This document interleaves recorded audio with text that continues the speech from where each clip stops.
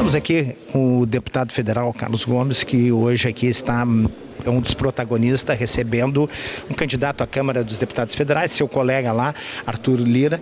É a impressão que o senhor está tendo, já teve uma reunião almoço e agora logo em seguida o senhor e o governador e vários deputados vão é, escutar o candidato à Câmara dos Deputados, porque a Câmara dos Deputados vai ditar o ritmo dos próximos anos e talvez as próximas décadas, porque vai ser um ano pós-pandemia extremamente decisivo, emblemático e histórico.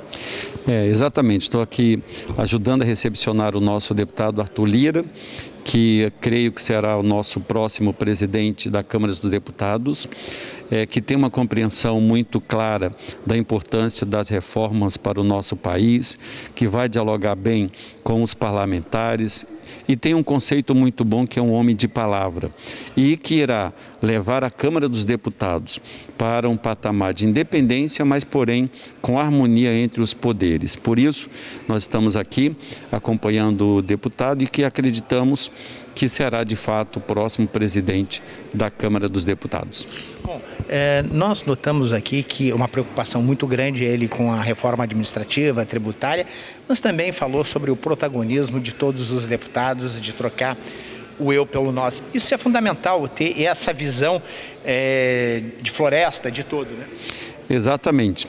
É importante porque é, a maioria das vezes que nós votamos na Câmara, normalmente é medidas provisórias.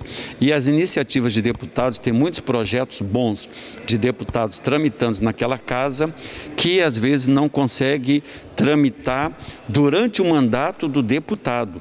Então é importante que ele separe um dia ou dois dias para que coloque em pauta também iniciativas dos parlamentares para ajudar com que esses projetos possam é, ter é, aprovação e assim surtir os efeitos necessários tanto nas regiões, nos estados e também no nosso país. Obrigado, deputado. Eu que agradeço. Obrigado pela oportunidade.